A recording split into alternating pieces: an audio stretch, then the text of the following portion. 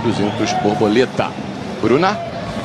Conversar aqui com o Léo de Deus, não sei se ele já sabe, mas como a gente deu essa informação, é o quinto melhor tempo do mundo nessa temporada. Como é que você compara esse Leonardo de Deus que está aqui hoje, que vai para a Olimpíada, em relação àquele que disputou Londres? Olha, primeiramente, boa noite. Eu queria agradecer a torcida de todo mundo aí que está fazendo bonito. Obrigado, gente, por apoiar a natação brasileira. E então, é, é a quinta melhor marca do mundo, mas ainda tem muitos atletas para nadar. A seleção americana também ainda não, não competiu. Então, eu estou me preparando muito para para as Olimpíadas. Eu acho que já são esse é o meu quarto ano com o meu técnico Carlos Mateus.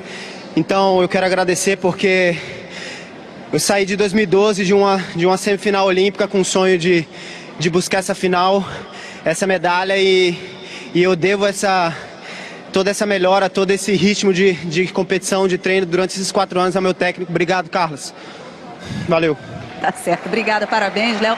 Conversar aqui com o Caio, então, Caio, parabéns também por essa classificação. Como é que você descreve, então, se juntar esse timaço com Thiago Pereira, Gustavo Borges, então, chegando para a sua quarta Olimpíada? Ah, eu fico muito feliz, né? Quero agradecer muito a Deus por ter me dado essa benção de poder estar estudando minha quarta Olimpíada. É, para mim foi mágico hoje.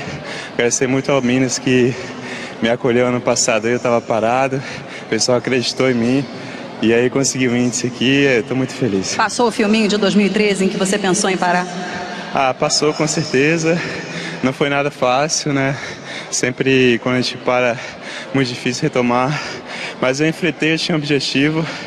E agora o objetivo é a Olimpíada. Muito bem, tá aí Caio Márcio aos 31 anos comemorando a vaga na sua quarta Olimpíada.